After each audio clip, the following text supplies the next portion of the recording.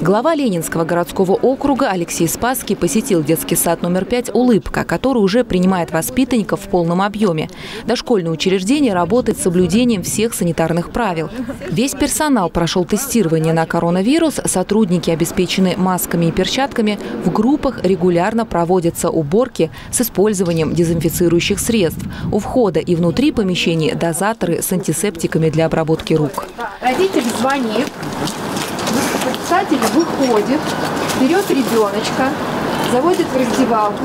Как рассказала заведующая детским садом «Улыбка» Светлана Шкредова, в период самоизоляции у них функционировали четыре дежурные группы. Для детей, чьи родители продолжали работать. Теперь принимают всех без ограничений. Но для того, чтобы привести ребенка в сад, нужно сообщить об этом за два дня.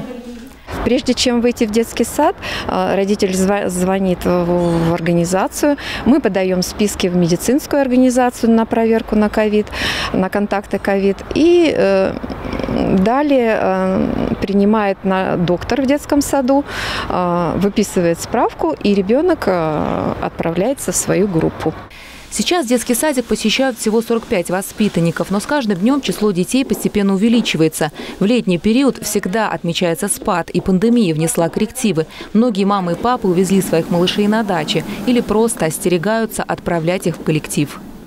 Мы прекрасно понимаем, что в летний период наполняемость детского сада, она традиционно э, ну, составляет, вот как я спросил, 20% от э, тех детей, которые ходят в, э, скажем, осенне-зимний период. Вот, и прекрасно понимаю, что в сентябре, конечно, наплыв детей, он весь вернется. Поэтому сейчас это, ну, назовем неким таким тестовым режимом того, что предстоит с началом учебного года. Совсем скоро здесь, как и до пандемии, будут действовать 10 групп, которые начнут посещать 70 мальчишек и девчонок. Также в саду разработан график прихода воспитанников с ежедневным утренним фильтром. Наталья Буслаева, Александр Логинов, Елена Кошелева, Видное ТВ.